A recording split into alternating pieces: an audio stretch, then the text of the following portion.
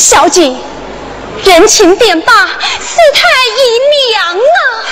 叔伯，他他到底怎么说？他他说老爷来是朝廷要变，官势重大，只怕竹林升官。